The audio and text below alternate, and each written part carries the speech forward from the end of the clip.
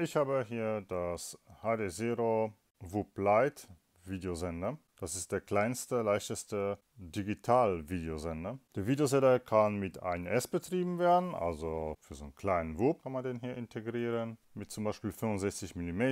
Oder man nimmt einen 75 mm, den man hier reinpacken kann. Und man kann das Modul auch mit 2S betreiben, wie hier bei dem Beta FPV Meteor 85 mm WUP. Der wird mit 2S betrieben und man kann auch das Videosendermodul zwischen 1S und sogar 3S betreiben. Das Board ist super leicht, es wiegt 6,5 Gramm. Die Kamera finde ich super kompakt mit ganz kleinen Linse und hinten dem digitalen Board hier. Die Kamera selbst wiegt gerade mal 1,66 Gramm und das digital. Zusammen 817 und dazu gehört so ein kurzes Verbindungskabel zu der Kamera und dann eine Senderantenne für 5,8 GHz. Dann wiegt das Ganze 9,18. Gegebenenfalls muss man vielleicht noch ein paar Kabel berücksichtigen, die dazu kommen. Also wiegt das ganze Videomodul mit der Kamera unter 10 Gramm. Das HD Zero Board ist hier mit so einem Blech abgeschirmt von beiden Seiten. Das kann man aber vorsichtig abmachen. Das ist nur drauf gesteckt.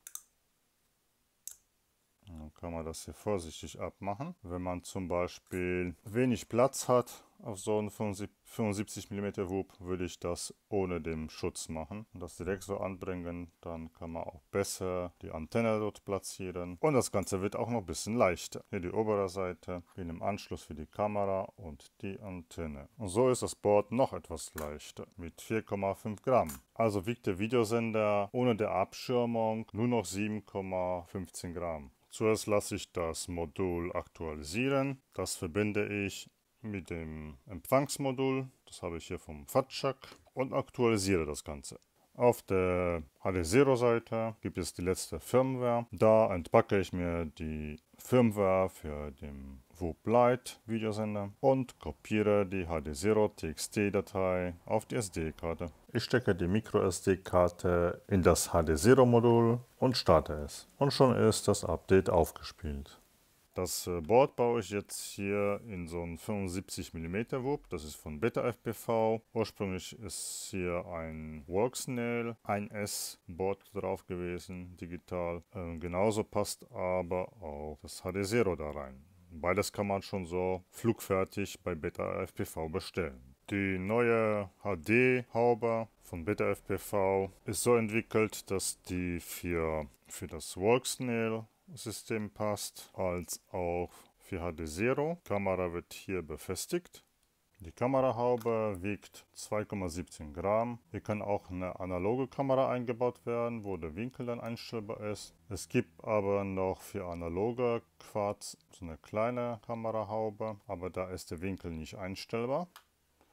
Da gibt es nur zwei Elemente für die kleine Kamera mit 20 und 30 Grad Neigung. Hier die analoge Version von Beta FPV 65 Pro und ursprünglich war diese Haube drauf. Die ist halt robuster, die Orange ist jetzt robuster. Auch man hat mehr Luftzufuhr, sodass hier der analoge Videosender gekühlt wird. Gehen wir zurück zu meinem HD0 System. Ich habe jetzt die Kontakte hier verbunden. Minus, Plus an den Akku und dann RX gelb an TX und TX weiß an RX am FC. Hier sieht man noch die kleine Express LRS Antenne an Bord. So bin ich jetzt fertig, muss nur noch alles zusammenschrauben mit der Kamerahaube und dann kann ich fliegen. Die Kamera habe ich angeschraubt mit zwei Schrauben links und rechts und unten das Board wird mit drei Schrauben befestigt. Eine Kleinigkeit äh, habe ich vergessen, äh, Smart Audio anzulöten. Die Light-Version von HD Zero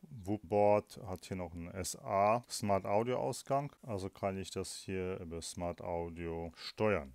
Und das Ganze wird mit drei Schrauben hier angeschraubt.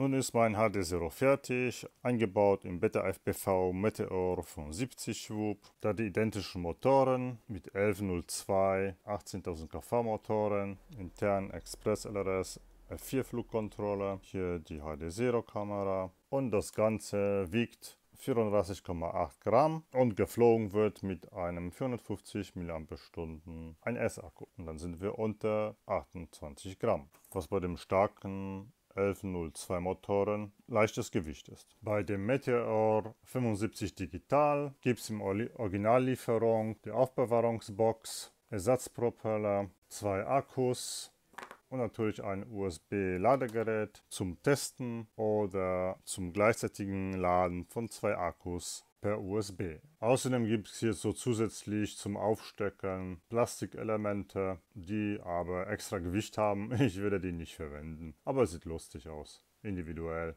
Auf dem Meteor 75 steckt ja der Express LRS Empfänger, also kann ich wunderbar hier mit Express LRS fliegen. Hier hinten habe ich das Beta FPV Modul mit Express LRS Version 2.5.1 und der Empfänger unterstützt die Express LRS Firmware ab 2.0 Version. Akku rein, Motor an und tschüss.